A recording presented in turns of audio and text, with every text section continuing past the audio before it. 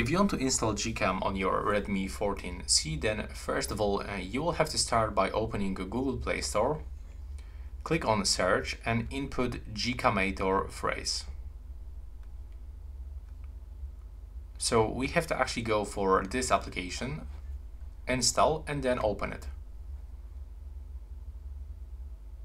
Now accept all of these permissions and as you can see, the Gcam uh, is actually not found for our phone model. But as you know, I'm actually recording this video like two or three weeks after release of this device. So maybe in the next one, two, three, or six months, they will gonna release official version.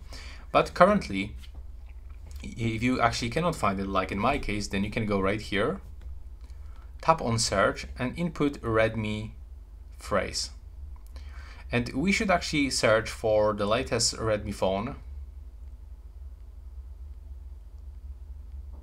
So we've got like, for example, the Redmi 13C, right? So that was the previous version of this phone. So we can try to actually get the Gcam for this one.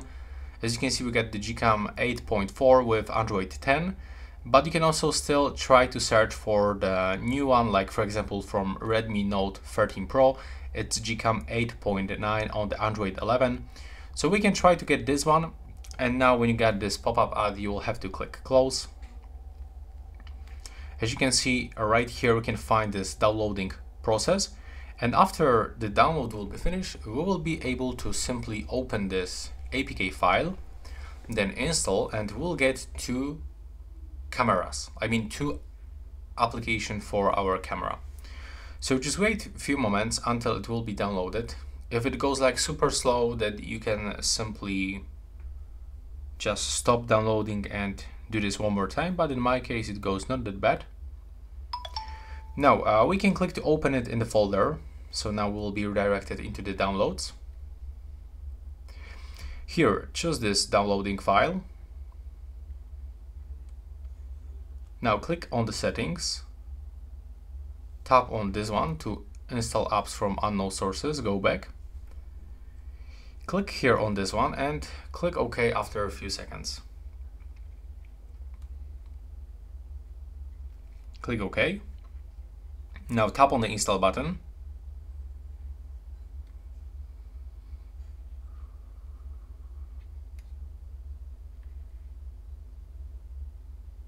As you can see, it's finished. So now we can try to open it. Accept these permissions. There we go. And as you can see right now, we can check if it is working properly. So at the bottom we got the video. Let's go back. I mean, I would like to actually go back into the Gcam application.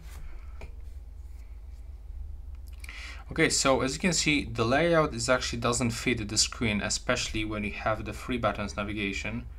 So, I mean, the application is working properly, but we cannot actually navigate here.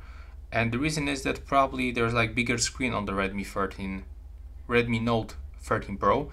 So we actually have to try to get this version for Redmi 13C. And you can actually try to do this with, you know, almost every file that you can find on this application.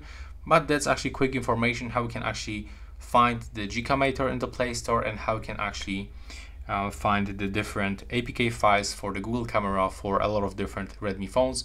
So we will have to actually test them until the official version for Redmi 14C will be released. So that will be all and thanks for watching.